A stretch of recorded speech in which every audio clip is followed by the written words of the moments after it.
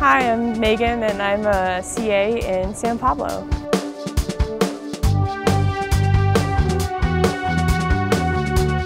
There's so many good things about it. I think one of my favorite things though is I love how my residents just come in and out of my room and they just come talk to me about like how their day's been and it's just like really cool to like have that experience, like that genuine experience.